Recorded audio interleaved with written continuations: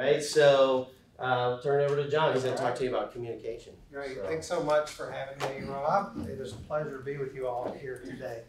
Uh, excited to hear about what's going on in this classroom. Rob shared a lot of things with me about what's going on here and some of your aspirations and goals and that type of thing, just kind of in a broad sense. Um, But uh, I do want to focus today on communication from the leader.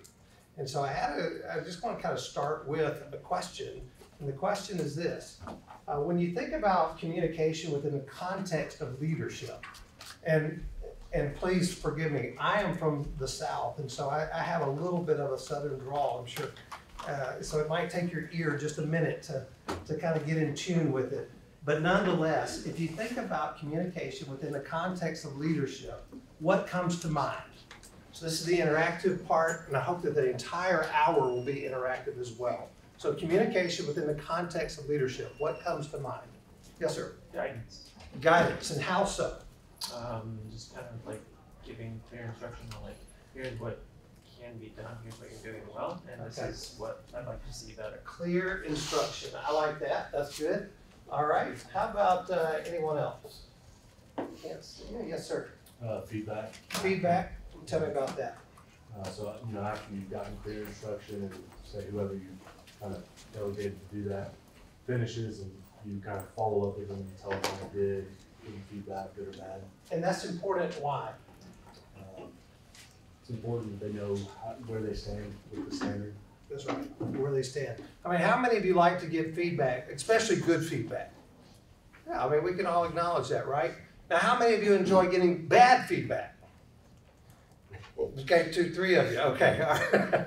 So Lee Cockerell, he was a former uh, former um, executive at Walt Disney World. He used to say that feedback is a gift. Feedback is a gift. You have to receive it like that. Whether it's good or bad, it's a gift. And let me just tell you, you can learn a lot from even bad feedback as far as the way it comes to you.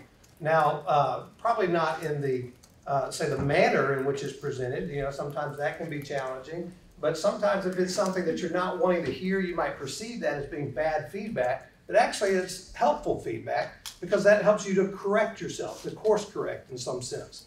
So we've got clear instruction. We have feedback. What else? Yes, sir. um, selling a vision is part of the communication. Yes, yeah. So kind of vision casting.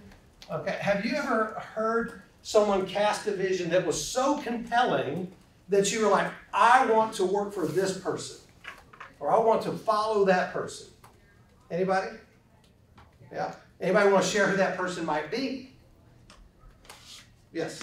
Um, my high school volleyball coach was just so like impactful on like her whole thing was she wanted to create like good people to go out into the world. Like she wasn't just trying to like coach you as a volleyball player. Like she wanted you to be a good human being when you Yeah. went out into the world. Did you play volleyball? Mhm. Yeah. And so, uh, do you still stay in touch with this coach? Yeah, yeah. Yeah, yeah, that's exactly right. A lot of times that's what happens. When you have a visionary coach or a coach that really invests in you, you most likely are going to stay in touch with them for some reason. And most likely it's, it's just the fact that you resonate with what they say, they challenge you to be better, and, and you want to continue to get better. Any other things when it comes to communication from the leader? What uh, expectations, what you hope to see, what you hope to, hope to hear? So we've got a- at least a good uh, kind of working uh, framework here. We'll talk a little bit about these things today. When you saw that we were going to be talking about communication today, did you have any questions that you're like, I really want to ask this question as it pertains to communication from a leadership in a, a leadership context? Any questions that you can kind of think of or that you thought about that might be important?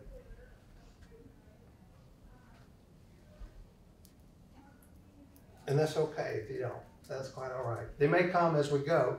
And so, as again, I do want this class to be very interactive, and so I hope that you'll stop me and ask, you know, questions along the way as I kind of share this story.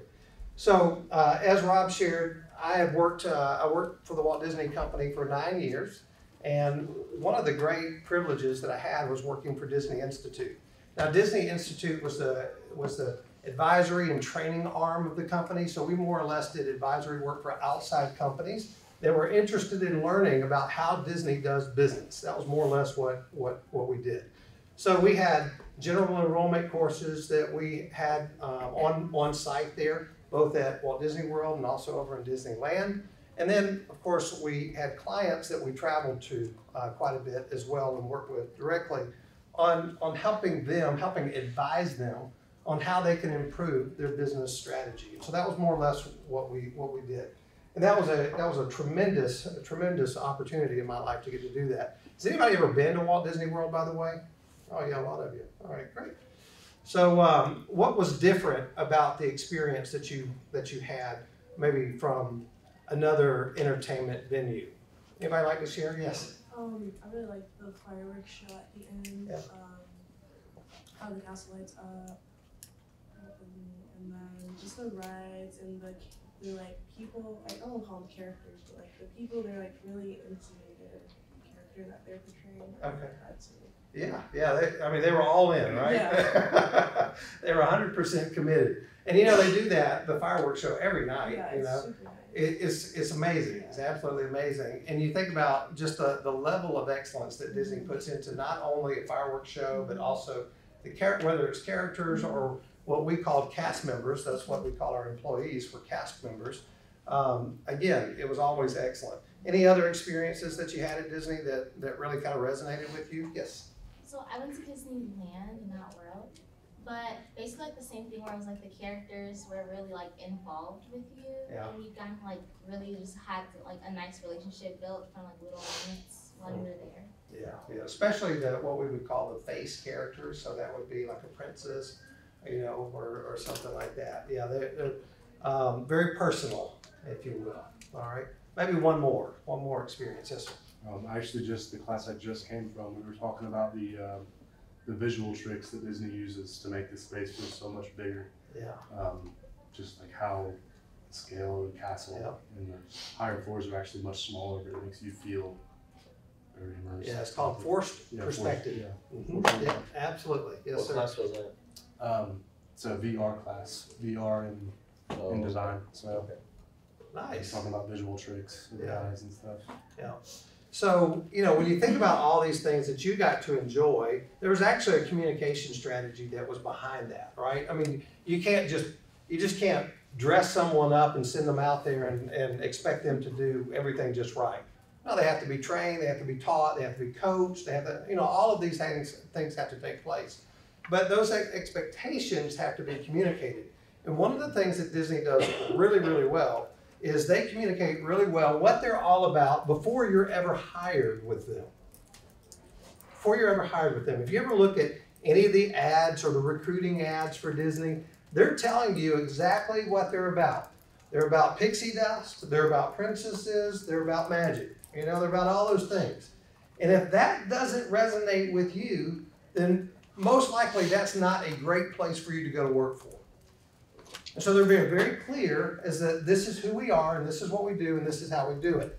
And then through the recruiting process, again, that, that expectation is set, that, that expectation of excellence is established, and you kind of know that through the entire process. And when you go into your first couple of training days, uh, which really amounts to a few weeks overall, uh, you're, you're, you go through um, what Jim Collins in his book Good to Great would call an indoctrination process indoctrination process. And that indoctrination process is basically it is it is an immersive experience that you're going to go through as a brand new cast member to learn what it means to work at Disney.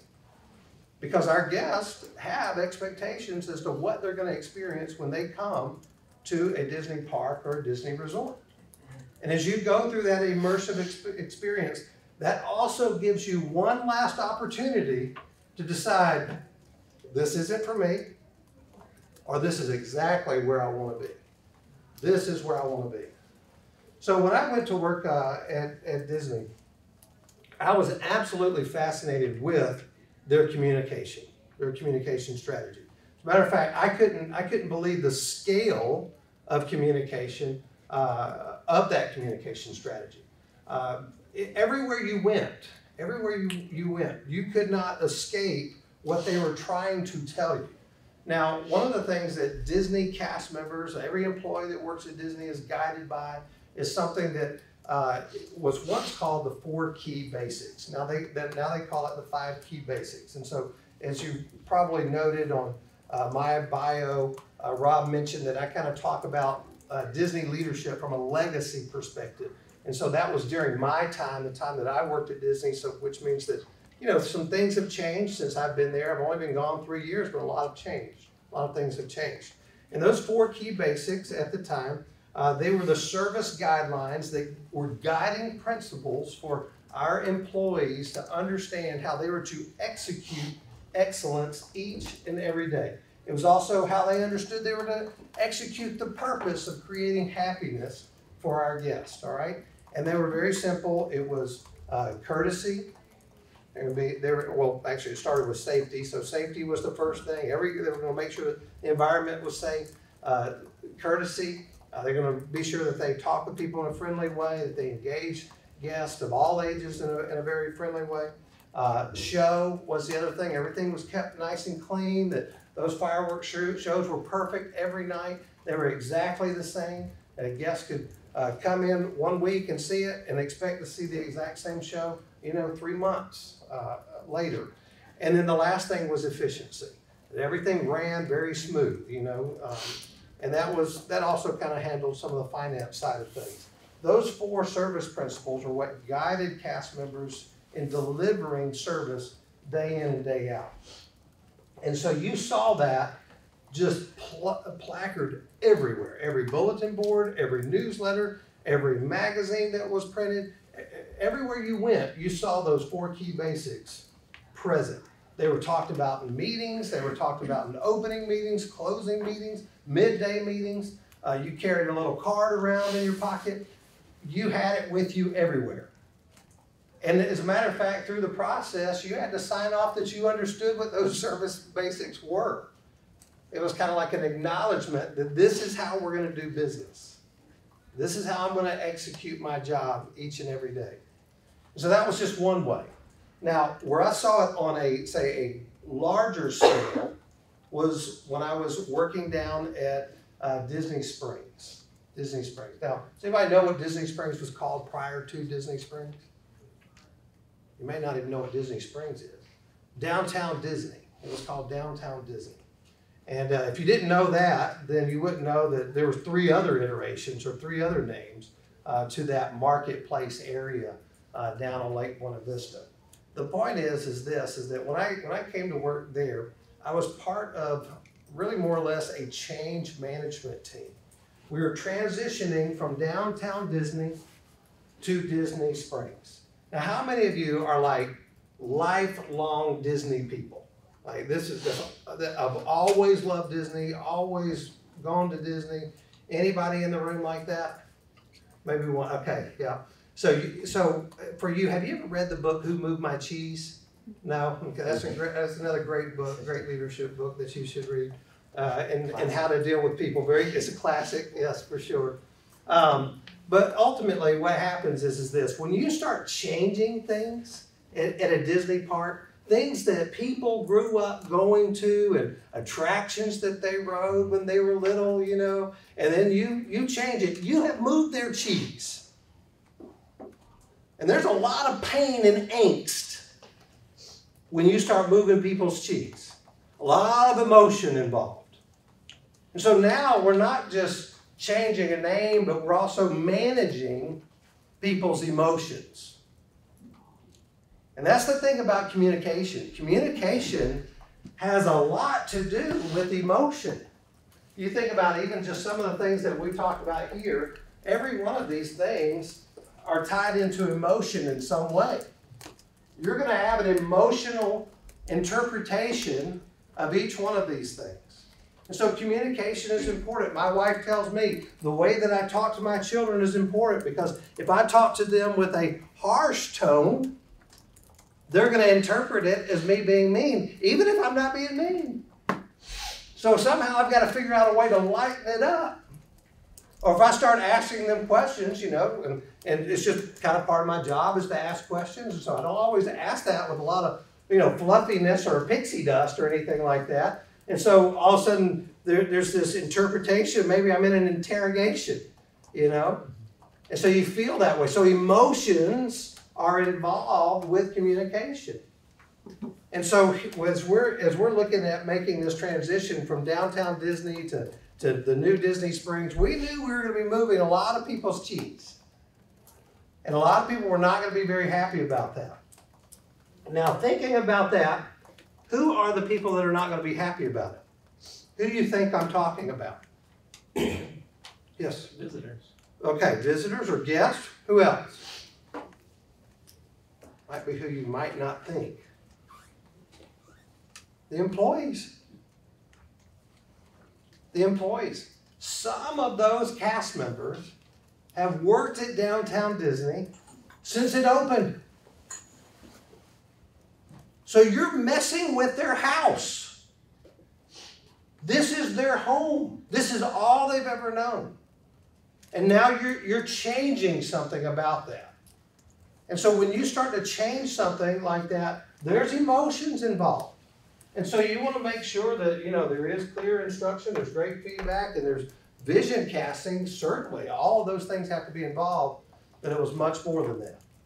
So when we when we think about uh, this, I'll try and work through some of this. This is very basic. This is basic communication strategy. We talk about the who, we talk about the what, we talk about the when, we talk about the where, and we talk about the how.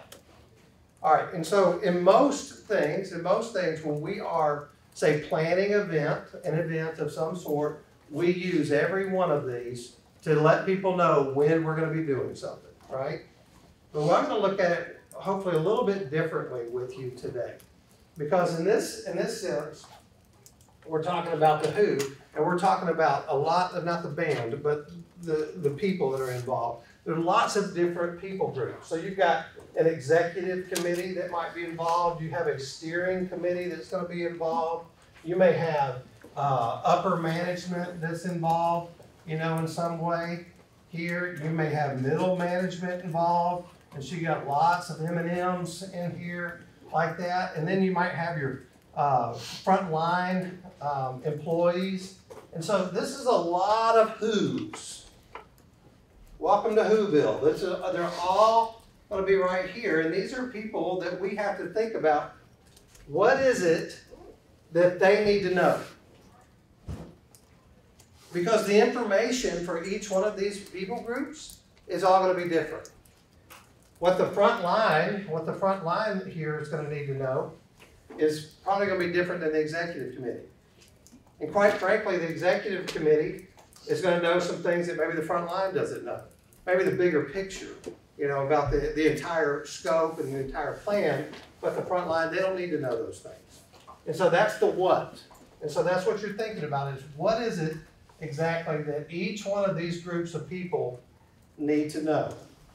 And it's all going to be different, but there will be some commonality or a common thread that, that'll, that'll flow through all these groups, all these groups.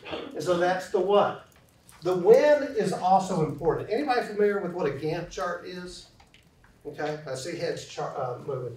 So that's good. So you think about, you got a timeline here. Let's just call it January to December. And you got everything in between, all right? So a Gantt chart, basically, it's used in construction primarily, all right? But basically, when you're doing, when you're thinking about it within the context of, uh, of, of communication, each one of these people are gonna need to know something. So executive committee is probably gonna need to know something the entire duration of the project, from start to finish, all right? Uh, maybe your upper management is gonna, is not gonna pick up in January where the project began, but they may pick up here in March, and that's when they start getting information. So all their information picks up and goes from here. And then you have, you know, some of your middle management, okay, well, they're, they're gonna pick up somewhere in here, and that's when they're gonna start getting information. All the while, all the while, everybody's getting different bits and pieces of information. But the important thing is, is that they're getting what's vital to them.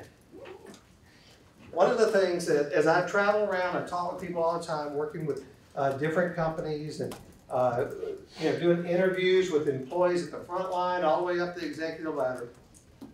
A lot of times people say, You know, Jon, no one talk, no one tells me anything. No one tells me nothing.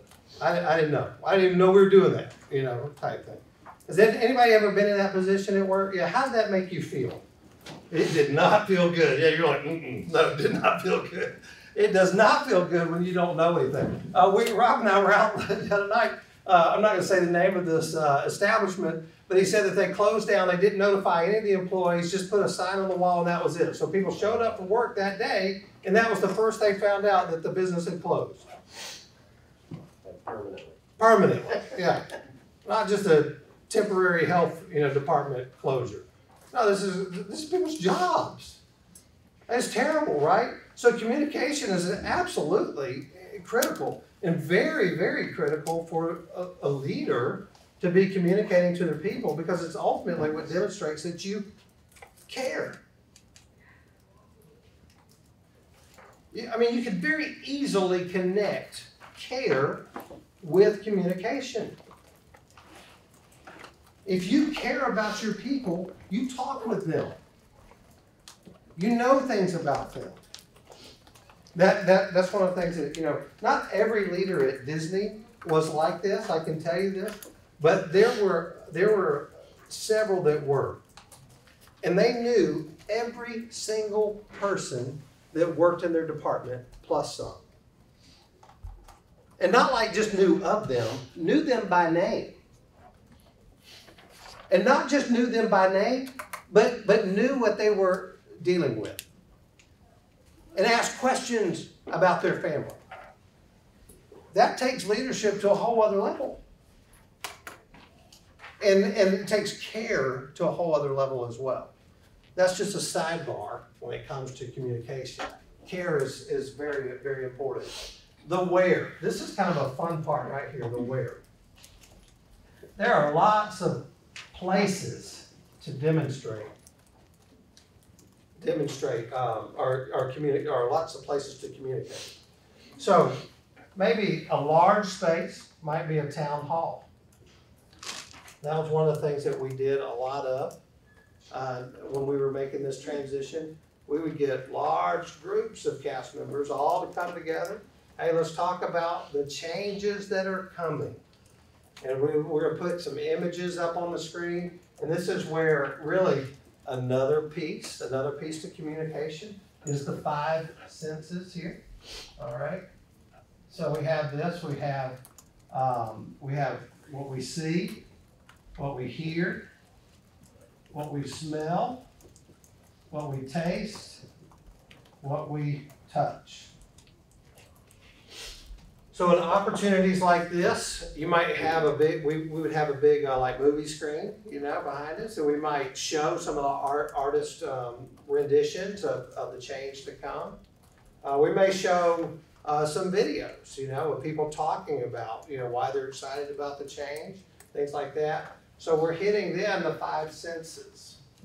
And this is important as well. Why, why, why do you think it might be important to even factor this in? Yes, sir. Everybody relates to, to the information differently. Yeah, that's exactly right.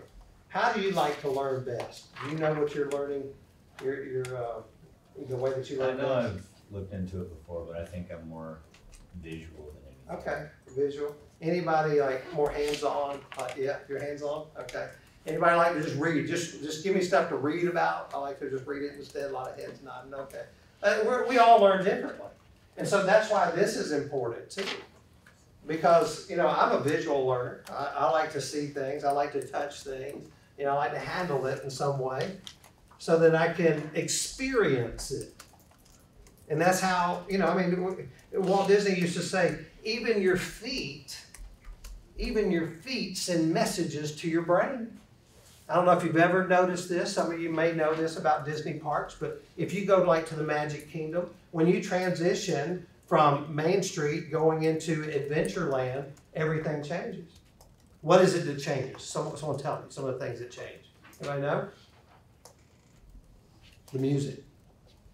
Music changes. We go from turn of the century music, we go into now some drums, like in the jungle, you know, that are, that are drumming. Okay, we hear that. And then even the things that we're walking on, we go from, you know, like a, um, you know, the, the brick pavers, and we go into a wooden bridge, and then we kind of go into uh, some some concrete that looks like soil, especially when you get over into um, like Liberty Liberty Square and, and all of that. You've got you've got a lot of um, a lot of you know changes not only in the music but also in the things that you know the, the walkways that your your feet are, are touching. You, you you sense all of those things. You smell different things as well. Anything else? Anything else that you can think of that hitting all those senses? All right. Well, you're going to see a lot of people dressed differently too. You're going to see people dressed differently, so they all have different costumes that kind of fit in uh, with it. So town hall may showcase some of these things for a large audience. Well, then the maybe the next thing that you you have here are uh, round tables, and so these round tables uh, might be a cross section of different employees from different uh, lines of business that are all coming together, and they all sit around this. Because you know what, I, I would venture to say that the custodial team wants to know how is this going to impact me. What's going to be different? We're adding 20 more restaurants to what we currently have. You know, how's that going to impact us? Are we are we uh, you know hiring more staff? That'd be a good question to ask. And I think it's a great question for a leader to answer. Is that type of question? You know, um, maybe maybe you know you've got um, you've got the team that takes care of the facilities around there. Maybe they want to know, you know, how many more buildings are we building? How many more things are we cleaning, you know, uh, maintaining and taking care of and keeping fresh paint on? All of those things. These are all things that people want to know. Maybe the uh, merchandise or retail shops, you know, they want to know, are we getting new branded uh, merchandise to bring in here? All these types of questions are great questions to be asking at these roundtables. And then uh, maybe something on more lo- location specific, you know, may take place. So uh, people that are working in their particular zones or locations may meet with their managers directly and be able to talk through, you know, these changes that are coming. Uh, we also did a lot of uh, field trips. So, um, so one of the things that, that took place was um, we brought in another vendor uh, called Splitsville. And it's a bowling alley, kind of a bowling experience that people can have. And so that was not unique to Disney, but Disney went out to this vendor to seek them out to find out, you know, would, would this be, you know, something that might work in our new model? And so they would take cast members down to enjoy, you know, the bowling alley and at Splitsville and other parts of the country to kind of see if this is an experience that our guests might also like. So when you think about this level of event, of, uh, of investment, when you think about this level of, uh, of investment, what do you think, how do you think the cast members or employees respond to that? Yes, Positively, and why so? because all their needs are being met. Mhm. Yeah, I mean, a lot of the questions that they have, concerns that they have, things that, you know, they're emotionally involved in, you know, they're thinking about these things, and they wanna know, you know? Uh, how does this impact me? Any other, any other ways that you think that these things are beneficial to be doing these types of things? Yes. Probably just makes everyone feel very valued Mm. and your opinions matter a lot. Yeah, yeah, absolutely. Because the, the, at the end of the day, you want your employees bought into, not just bought in, but also invested in. That they feel like this is something exciting that I get to be a part of. This is something that they're telling me about because they want me to know. Now, if you have an employee that is excited about their work and excited about the change, the big change, the big bad change that is coming, how do you think that's going to transfer or translate to uh, to guests or to, or to to your visitors? Yes. It's gonna, I mean, increase the employee engagement and then that employee is going to, that, that positivity is going to reflect. And then customers are gonna see that and then like buy into the vision as well. Yeah. Has anybody ever uh, talked with someone that just absolutely loved their job? Like, oh, uh, they love their job, right? All right. Any, anybody been like to an Apple store? You know, I feel like every time I go there, everybody loves their job there. They, they can't wait to show you something, you know, or talk, talk Mac to me, you know, type thing. You know, I mean, it, everybody that works there loves their. What what other places besides an Apple store? You know, the people love their job. Yes. Chick Fil A. Chick Fil A, they love their job at Chick Fil A. Why do they love their job? I don't I don't know if they, if they do or if it's just, if they're just faking it, but uh, I feel like they really like stick really really close to their values and Yeah. they they translate that to all of their employees. And somehow whenever I go in there, it's just like it's you know my pleasure. And then can I get you anything else? Yeah. And they, they, they love it. It's like magic. It- Yeah. yeah. That chicken comes out. There's just something good about it, right? All right. So Chick Fil A, Apple. What else? Any other places that you can think of? Yes. Uh, Trader Joe's, Trader Joe's. Trader Joe's. Yeah. I think they like train their cashiers to make conversation with everyone they're checking out. Yeah. I think would be exhausting, but it kind of it makes you think like, oh, these people enjoy being a cashier today. Yeah. And they'll talk to me. It makes people feel good. Yeah. So the, know, they're trained to do that. Maybe it's the Joe-Joe's. Yeah. You know, I mean, those things are good, guys. I mean, really, the chocolate covered ones, you know, those are the best. Sorry, around Christmas time. All right, so yes, now you talked about something that was important that uh, that we hadn't really, you know, discussed just yet, which is really, I think, the secret sauce. No pun intended intended with the Chick Fil A thing. Training. Training.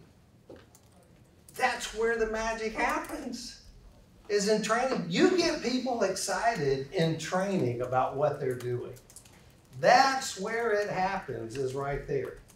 Now it's got to be sustained over time. Because you know it just it, you can't just do a one and done. Anybody ever worked for some a place that was like one and done? Had one hour training, you know, thirty minutes, you know, two minutes, you know. there you go. Here's the cash register. Go for it. You know, I mean, it's just a, a mess, an absolute mess. Or it's a disaster waiting to happen. So, but if you've had good training, anybody been through really solid, good training? Like you've been like, oh yeah, that was good training. Do you mind sharing where that was at? You- Um, it was at a Texas Roadhouse sister company. Yeah. Partners, Yep. And sorry. Um, I was able to be like cross trained in a bunch of other positions just because like everybody actually they didn't want they didn't want the company to look stupid. So like whenever you're not good at training, it makes people look dumb. Yeah. And then I ended up becoming a trainer and opening a couple restaurants. So Nice. they're, they're just very consistent with it. Yeah. Yeah. Did you do that here in Quincy or somewhere else? Um, I was down in Indy, and then I opened a store in Louisville and Keystone. Oh, nice. Yeah. So they have good training then. Yeah. Yeah. And so, uh, and especially when you have a good trainer, like that's the other thing. And that was one of the things that I really enjoyed doing. I, I dabbled in that as well. Um, when I when I first onboarded at Disney, I didn't onboard as a as a leader there. I just I am onboarded as a frontline as a frontline employee at Disney, and then got into training with Disney very quickly. I enjoyed that immensely, being able to invest in new cast members and get them excited about the role and what they were doing. At one, at one point, I also got to work over at Disney University in the operations role uh, there, uh, kind of overseeing all the new cast members coming through, you know, the university there. Lots of fun to get to do that uh, as well. But having a trainer that was excited about what they did, that's important. Anybody ever had a bad trainer? Like, oh man, they're not happy. Yeah. and, and what does that do to you? When you what, what does that do to you when you had a when you had a bad trainer? Kind of just figure out on my own. Yeah. ways Yeah. to do it. And and sadly, that's what happens with a lot of companies, and then you don't have you know standard um, standardized practices at all. You know, everybody's just kind of winging it. You know, and that that's a whole other story. Know, going down that road. But if you have great trainers that communicate really well and really lead well, because you don't have to have a leader title to to be a leader. That's an important thing. That was one thing I learned at Disney too, was that everybody, everybody's considered a leader. You didn't have to have a title to, to, to be a leader. Everybody uh, was considered a leader. And, and the reason for that was it was through empowerment. We figured that if we gave you great training and then we provided you the right tools and resources, gave you those four keys to be kind of like your, your guiding principle, that you, you, you can't make a bad decision. You can't make a bad decision. There was a lot of times when I was in a leadership role and I'd be with a cast member and I was talking with them, you know, about a decision that they made. And I say, hey, what, what key did that support, you know, when, when you made that decision? And they'd be able to tell me, you know, which of the keys, whether it was safety, courtesy, show, or efficiency. They were able to, to share with me one of those. I think, could you have done it any differently? No. Did it just right. As long as you err on the side of our, our, our service standards, you're in good shape. You're in good shape. So that creates a great environment for people to work in. All right, so we talked about the where, like all these fun things that you can do uh, to help communicate. Going back to this, uh, the vision, you know, the clear instruction that we asked about. So all these things are important. So let's take care of uh, here. Now the how is more about like uh, the different mediums that we're going to use. Okay, so what are, what are some of the different communication mediums that, that are used today? Yes. Email? Yeah, email is one way. Okay. What else? Yes. Face to face. Face to face. So we'll say face to face. This is kind of my favorite one. Uh, we said email. Email's okay, but and I'll explain this in a minute. What else? What are some other hows? Other ways? Zoom. Zoom. All right, that's good. All right, with a dog barking in the background. Always. All right. Anything else? Yes. Can I bring this up just because I hate it? What Is was it? I bring this one up just because I hate it? Yeah. Uh, pre-recorded video. Oh, pre-recorded video. Okay. Kind of looks like it's supposed to be live, but but it's not. okay. Yes. Text message. Text message. Okay, that's one way for sure. What else? Oh man, here we go. Yes. I was just gonna say phone calls. Phone call. Okay, love it. All right. All right. Yes. Uh, PowerPoint. Like PowerPoint. Okay. All right. Anything else? Yes. Like a memo? A memo. Man, you went back to a memo. Wow. All right. yeah. A newsletter. A new and a newsletter. Okay. All right. What else? Man, you guys are on a roll now. I am surprised that no one said the one like this is a glaringly obvious one. Yes. Social. Yes, there it is. Social media. That's it. That's what I was thinking would be the first on y'all's list. All right. Like So- a, like a meeting place, like a, like, uh, what are the software packages I'm blanking out here? Uh, Slack and Oh, Slack. Okay. stuff like that. What, what was the other one? I I said GroupMe. Oh, GroupMe. Okay. Yeah, GroupMe. Yeah, that's I like that. Mm-hmm. I actually use. What is a memo? Uh, what's a memo? All right, go for it. You got to share what a memo is. So, if I remember, if I remember correctly, it's like you have a cover page, and then your next page kind of goes over like your main points of your meeting, and then you go over into like more in-depth parts of the parts of your meeting, and then there's like a conclusion that tells you why you did what you did, and then that's it. Kind of like a That's typed out letter. Yeah, More or less. Okay, that's Church great. bulletin, I guess. What what was it? Like a church. A bulletin. church bulletin. Okay, yeah, but that's another way that people get information. It's basically like the little pamphlets, like the sales pamphlets and stuff that they make. Uh, if you ever taken a sales class. Okay, all right, very good. You, you guys get the picture, right? As far as all the different things. Now, let me ask you this. All these by show of hand, and you can only choose one. Okay, you can only choose one. I'm gonna go down this list. By show of hand, which one do you prefer? Okay, which one do you prefer by a show of hands? So we'll start with social media. That is unbelievable. I cannot believe it. All right. Guys, there's a whole generation coming up behind you. that is the only way that they communicate is social media. That, that's it. Right. It's a whole, yeah. All right, this is another story. All right, here we go. Phone, by phone. Okay. One, was it one? Okay, I'm to go for one. All right, face to face. Wow, look at this. I love this. This is good leadership here. All right, so face to face. How many people are in this class? I got Forty-five. 42, you say? All right, I'm gonna go with 35. Okay, I'm just gonna round it, round it up. All right, so so uh, this, this is great, and this is important. I mean, really, face to face is so good. Why do you think face to face is important? Why is that important? Yeah. You pick up on like cues that you wouldn't normally over the phone or any other way. Like Ursula used to say, power of body language, right? Mm-hmm. All right, body language for sure. Yes. It takes more effort of investment.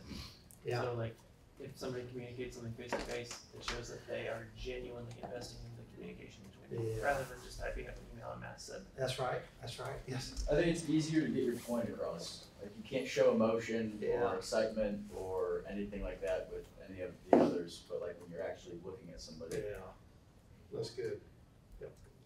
It brings in the five senses on both sides, so everyone gets to be in the same room talking to each other. Yeah. And you get to see how it's actually going instead of somebody sending a text back. Yeah.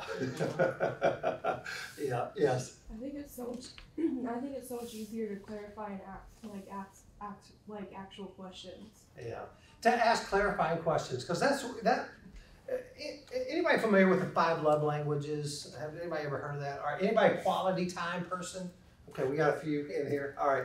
That quality time is really where you kind of dig a little deeper and ask, you know, these qualifying que- or, or clarifying questions. There's actually a uh, the five. It's not called five love languages because this would land you in HR jail many times. All right, but it's the five appreciation languages within the workplace. It's written by the same guy that uh, authored the five love languages, but also uh, Dr. Paul White. So the five languages of appreciation in the in the workplace. Great book, and and uh, physical touch doesn't rank as high on, on that one as, as uh, some of the others. All right. But uh, it is great. And quality time is one of those where you spend time, you know, digging in. All right, any other comments along why face to face is so great? Yes. Um, I, I also prefer face to face, but I can, I've had instances where it's, you have a meeting and the whole time you're thinking this could have been an email. So I am so glad you brought that up because that's an important thing that I was going to come to when I got to email. All right, so let's hold that. If, if I don't say it, just remind me, all right? Yes. I just wanted to defend myself on the phone. Defend yourself. all right, go for it. Go for it. Like, I love a good phone call because I don't have to like. I don't like seeing people's facial expressions all the time. I'm also not good at containing my own, which Yeah. I need to work on. Yeah. But that's just me. But I also like how you can you can FaceTime, you can text, you can call. Yeah. You can literally do anything on the phone. Like I like having the written. You said this to me Yeah. this time, this day. Yeah. Also, we had a phone call then, and you can get everything you need to get out of the way. You Yeah. can also multitask rather than like having to worry about eye contact and do I look decent, stuff like that. So I like it. So I'm going to talk about both of your, you guys' things here in just a moment, all right? So let me ask this question on personality test. Anybody cleric, red, cleric? Have they done, have they done? What are you talking about? personality profiles? Like you're talking about the colors or Yeah, something? yeah, you can do that one too. There's different, We've done strengths so ju- far. so just strengths? Yeah. Anybody have communication as their strength in here? Okay, all right, great, great, all right. So, yeah, personality profiles, there's also another great resource called I Said This, You Heard That. And, uh, and so they kind of work off of, uh, the colors, all right? So red, blue, green, and yellow. Fantastic resource. We, I'm actually using this with a healthcare group that I'm working with right now. They have, they have, they have, uh, basically embedded it into the fabric of their culture, more or less, all right? Uh, so it's been, it's been fantastic. So red personality is kind of a driver, you know, so they're, they're gonna, they're gonna blow through walls to get things done, all right? So now that I've said that, anybody kind of have that personality?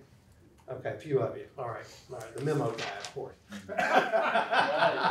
I'm just kidding with you, all right. All right, so let's come back to this because this is great. The reason why I asked about the personalities, and this is important for you to understand too, about your own personality, is it, it also changes the way you communicate. So you're gonna have a primary way that you're gonna want to communicate based on your personality type. But that also means that as a leader, you're gonna have to fight against the urge to stay in that bucket all the time. Because as we just all saw, there was a lot of people that said, I'd rather have a face to face. So knowing your people goes back to knowing your people, know, uh, share, uh, letting them know that you care. When you know your people, you know that they would rather have a phone call. They'd be okay with an email. They want a memo, a memo, all right? Or they want uh, the face-to-face. You're gonna know that. And some things may, may require face-to-face, some things, you know, may need, you know, any of the others. Let's talk about email. Anybody like to be communicated through email? Okay, you, all right. Two, all right, we'll go two, all right. Zoom, not, not many of you left at this point. Pre-recorded message, one, oh, you were Zoom? Okay. Uh, pre-recorded? No, so, no, not me. All right, all right, text. Okay, I think that's everybody. Anybody that not, that, that didn't call it, call it out, I don't wanna leave you out. Okay. You're like, well, I just prefer a newsletter, you know. Okay, that's fine too. All right, so all of these things are great ways to, to demonstrate you care, but they're all, they're communication methods, communication met- methods. So you have to use them. And you'll have to adjust sometimes your overall strategy to those things. And like my friend right here was saying, this is very important, that when you're communicating things over time, some things can go out in the email. If it's just a, hey, we're gonna meet at nine o'clock instead of eight tomorrow, you can, you can do a text message and an email. All right, that may be very simple, all right? Or, or, you know, if it's in three days or so. You know, but if it's like within the hour, you change on something, what do you, what do you think you should do? What, what should be your communication strategy? If you have to change a location or a time to meet, what should you do? Phone call. Phone call. Definitely pick up the phone. Call them. Hey, look, we're not gonna be able to make it. We're gonna be late. My, my grandfather, he, he instilled this principle in me. You know, if you were on time, you were late. And, and you know, if you were, if you were early, you were on time. That was, that was how things kind of worked at, at his place. And so I knew, now, now my wife is very different. If you're on time, you're on time. So if it says be there at nine, then be there at nine. I'm like, oh man, this is gonna be a killer. So I'm, guess how many times I was calling my grandparents? We're gonna be not on your time, but on, on Heather's time, all right? We'll be there right when you told us to be there, but it won't be early. So essentially, we'll be late, and just let them know.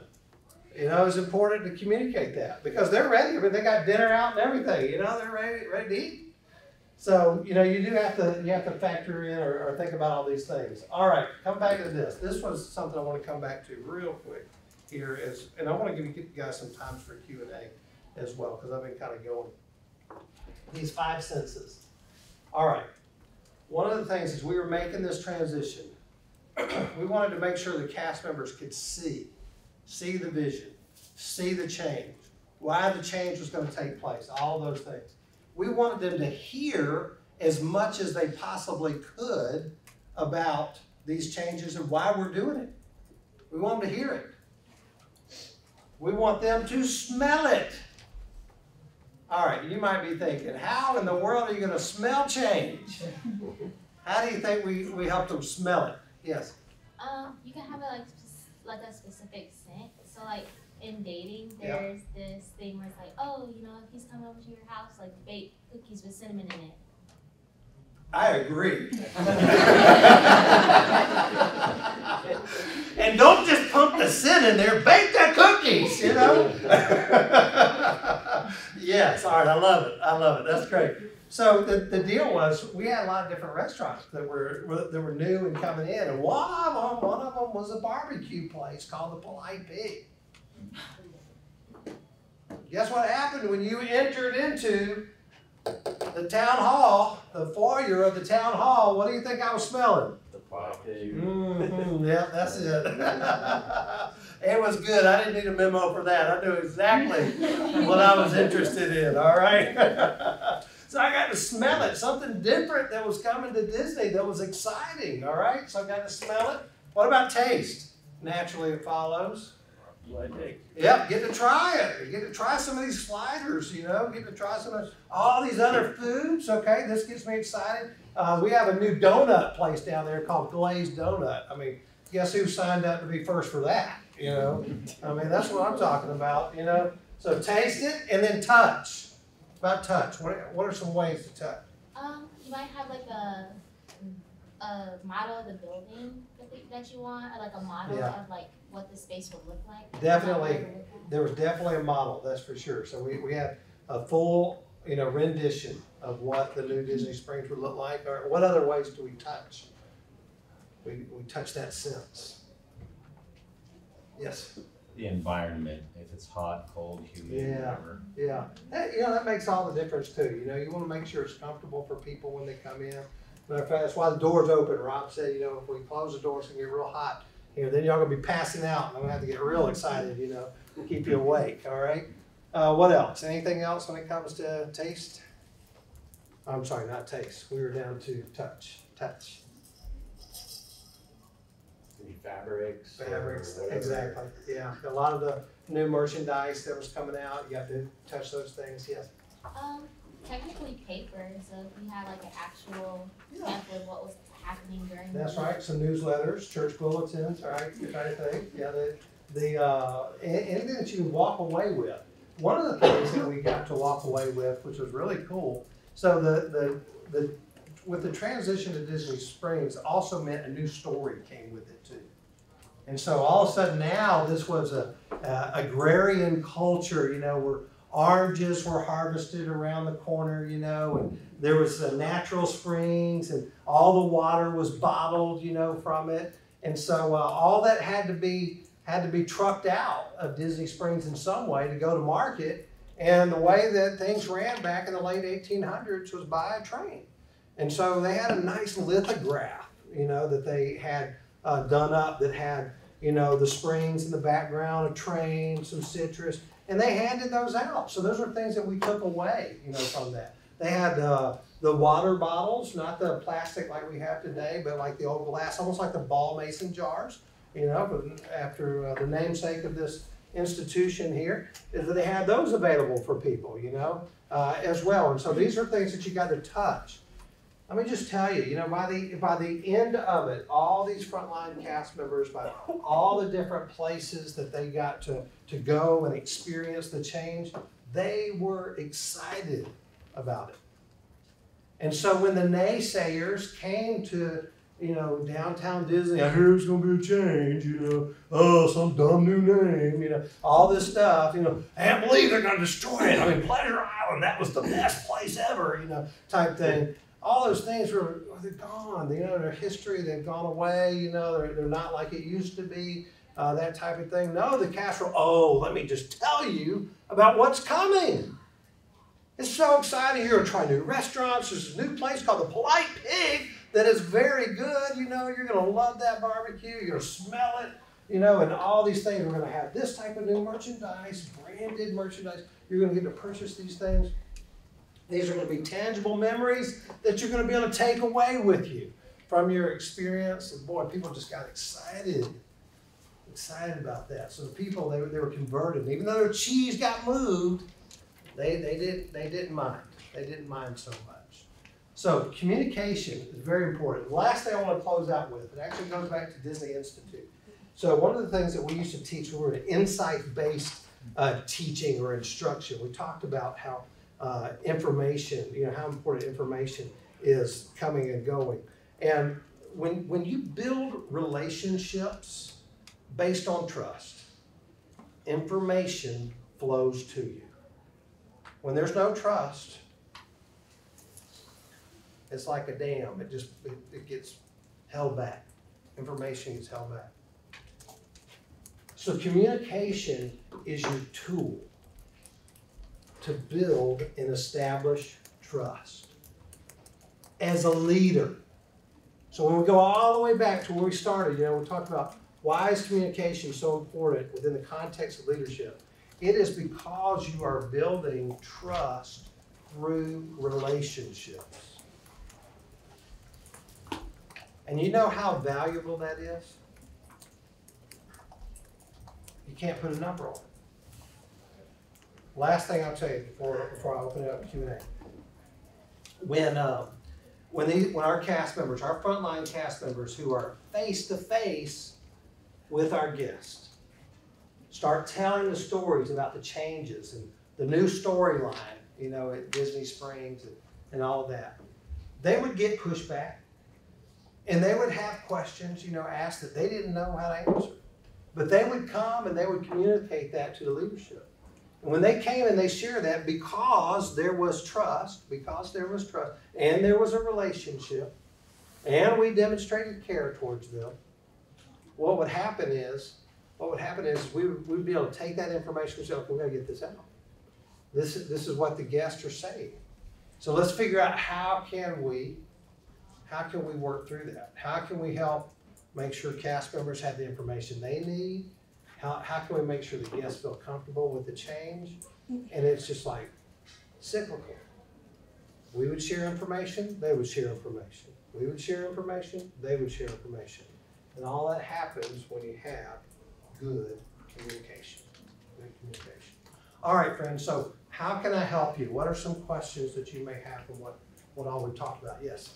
Um, so obviously it like took a lot of work through communication to like do the new Disney Springs. Yeah. So like what were the like was the old downtown Disney not big enough? Like what was like the like motivator for Yeah. making a change like a new Great question, great question. All right, so our parks, we're hitting capacity all the time. Now, to expand parks, a lot of money, because it's normally an attraction that's involved in that process, right? But Disney Springs is a non-attraction based location. It's all retail. So we saw two opportunities. One, we saw a way for us to pull people from the parks to Disney Springs. That was one. The, the second, the second thing was, and, and that would alleviate a lot of pressure in the park, and it would also change and impact the experience that people were having in the park, because then they didn't have to wait in as long of a line. But then we also knew, based on surveys, that a lot of our guests coming would do, you know, Disney a day or two, and then they would go and explore other things. Okay, they may go explore other parks like Universal, SeaWorld, whatever, that was fine. But one of the things that came up often was shopping, like high end retail. So you think about people that are coming here from around the world, maybe not have all of these different types of stores to shop at. Well, now if Disney can keep you on Disney property spending money at Disney. That's a good strategy. So we've not only taken care of our efficiency piece in both, because now we're alleviating pressure in the parks and we're generating revenue in a different capacity over here. All right, great question. Yes. So you mentioned that you onboarded as like a frontline worker. Did you Yeah. intend on being a cast member?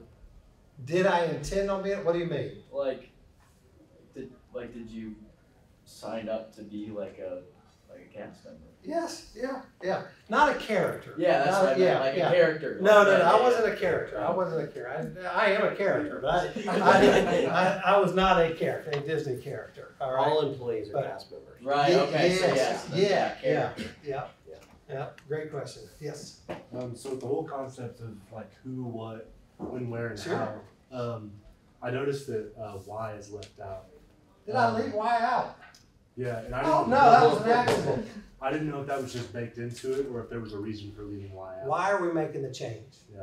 Thank you for correcting me. That was perfect. Let's not forget why. Start with why, said Simon Sinek. Don't y'all know? Have you not read that book? You should read it. Start with why. All right. It's a great, it's a really where to go. Why are we making this change? People want to know. They want to know why are we making this change? Which goes back to your question right there. You answered the why for me. Thank you. All right. Who else? Yes. How do you know when you're over communicating? Uh, like, like me? Like, I mean, I ran out of time. no, you, all right, so let me say it like this. You can never over communicate. Hear me on that. You can never over communicate. As a matter of fact, by time you get tired of saying it, that is generally the first time most people are hearing it. That's just human nature. You can never stop communicating, especially through change. Yes. So then, is there a difference between over communicating and oversharing? Or So yes, so that is true. So that gets back to this, uh, the what. So what information is shared at this level, at this level, at this level? There were certain things that we knew at this level, we could not share down here. There were things that we knew at this level that could not be shared right here.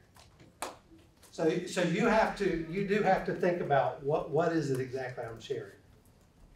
Cause you don't wanna over, uh, you, that, that wouldn't be over communicating, but that would, that would be sharing too much.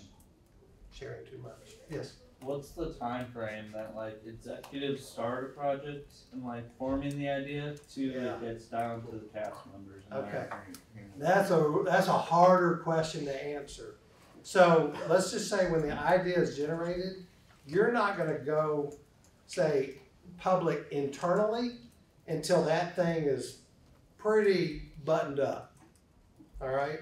And so once you kind of get to that place, it, and it depends on what all the timeline is, if there's construction involved, all those things. It, it, you just wanna give yourself enough time, for sure, you know? It, because you don't want to, you don't wanna birth an idea too soon. If you birth an idea that hasn't been really thought out, it's a disaster. It, it is, a- it's like, you know, an undercooked egg, it's, it's really bad, yes. So let's say you've done all these Yeah, steps, right? yeah. And then, for whatever reason, there is a major, major roadblock in, Which in happens. your plan, Yeah. right? Um, so like, I can think specifically from my example, we had, I was working in a restaurant, there was gonna be big changes. Mhm. Right, we had this meeting, they did all these things, Mhm. never happened. Yeah, yeah. So what kind of like how how do you communicate disappointment, I guess, in that way to to prevent from losing that trust entirely? Man, that is, that is a great question. That's a great question. You know, I, think as best as you can, it's sitting down with them and having the hard conversation. This did not go like we thought.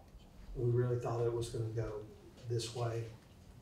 Circumstances, I mean, look, we had COVID that happened. We had a recession that happened over a decade ago. I mean, all these things, things happen, you know, in the world that that throw off our plans. And so I, I think just being honest with people about what happened and why it happened, I think that that's how you know that you're demonstrating care, and that's the best you can do. Yep. Other question? I think front row, do you have a question? You wanna go? I have a question. Oh, I had a well, I had a question, but I decided not to ask it, but I'll go ahead and ask Yeah, it. you're, you're up now. Um, so like, what it kind of goes back to like the over communicating. Do you think that over communicating can lead to like a lack of trust, like seeing like the employees feel like they're not being trusted in like doing their responsibilities? Okay, okay. So, so almost like mothering Yeah. Okay, yeah, yeah. So I, th- I think it is, I think it's how it's done. I think it's how it's done. Um, that's probably the best way to handle that question. So there, there can be, and, and again, um, I do a lot of coaching as well with people. And so, uh, if you do, there's something called three sixty, uh, feedback. And so that means you're getting feedback from the top, from your colleagues and down below, all right? And so when you do those assessments, you find out things like that. And then you sit down with that person and say, hey, look, I wanna, I wanna be very honest with you, you know, your, your feedback came back like this, this is one of the things that was highlighted. Let's talk through, you know, what, what that means. And then help them say, stop mothering people. All right, any others before I turn it over? Man, you guys, y'all listen great. That took up all my time. All right, go ahead. So, um, when you're talking to middle management, do you kind of like have to think about the fact that they're working with the floor level and that they're probably going to tell them more than they're supposed to know? Yeah, you, you have to tell them that. You have to say, this is not for this group of people. Yeah, very good. Thank you, Rob. Thank you. Um, just to give you an example of the timelines, it could be decades. Like, Ball State with the state of Indiana is on a twenty-year cycle for new buildings. Twenty years. So, fifteen years ago, a new business building was proposed to the state. Well, obviously, they're not gonna tell you that, they don't even tell us that, because it's way too early. But what they'll do is over time, they'll get input, they'll get, and so right now, we're getting close. It's a few years away, probably by the time construction decisions are made, it might be four years away. But, so some decisions, I mean, when you're talking about investing tens of millions, hundreds of millions, even billions with a B dollars, that takes.